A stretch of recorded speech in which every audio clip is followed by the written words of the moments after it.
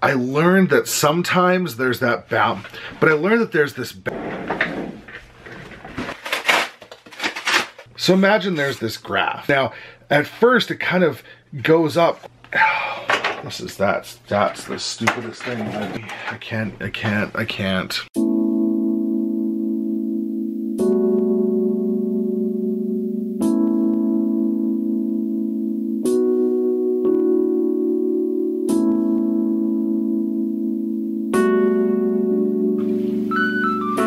So I had an idea today that I was going to make a video about quality and how sometimes buying things that are a little bit better than just the cheapest one actually pays off in the end because the quality is so much better and how, you know, when you get to a certain price, it's a diminishing return on the quality of something. And I tried filming it. I wanted to film this because my camera's coming back and I was really excited about it. And then I came downstairs to make this video and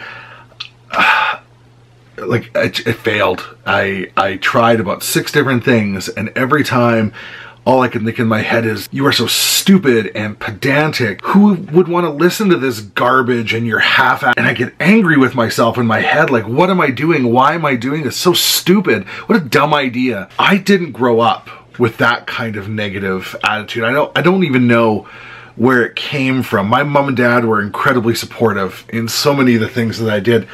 But sometimes in my head, I just, I get so frustrated when the things that I want to say just can't come out of my mouth. I remember when I started painting and, and I, I loved painting. I loved the way that that colors would work together and I had these amazing ideas in my head about how I wanted them to come out and and sometimes they would and sometimes it was this beautiful representation.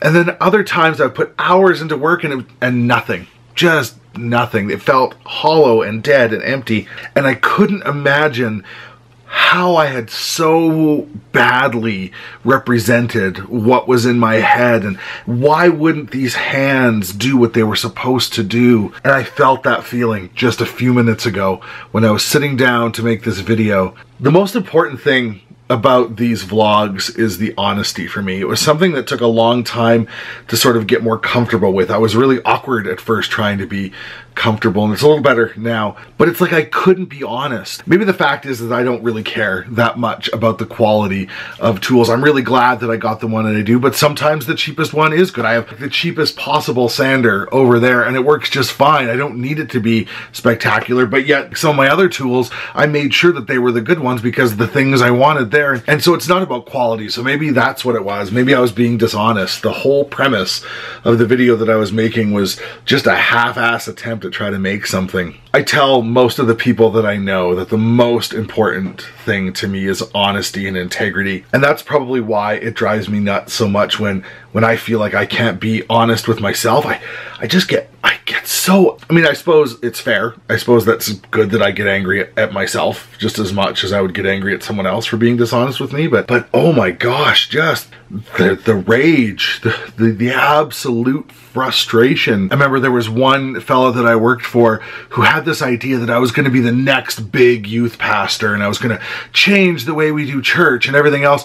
And then I ended up working for him and it was awful. He had a totally different way of doing things and, and he felt so betrayed and let down by me because he had built up this idea about who I was based on sort of the rumors that he had heard of the stories that he had heard. It wasn't that I had misrepresented myself to him. My reputation had misrepresented myself to him. I just I, I hated that. I, it it hurt me so badly to think that somebody for good or bad had an idea about me that wasn't actually accurate. And you know, it's exactly what happened with the Pride Parade just a little while ago here. This whole idea of people deciding things about who I was or who a group of us were based on the actions of a few. You know, hate me for who I am. That's that's fine. Just hate my guts if it's honest and you have an honest concern with me, but don't hate me because of an idea. And by that same token, I don't want you to love me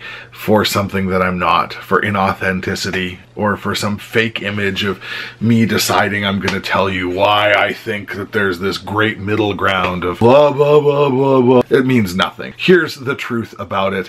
When I want to get into something, I research it until I'm blue in the face and everybody around me is intensely annoyed.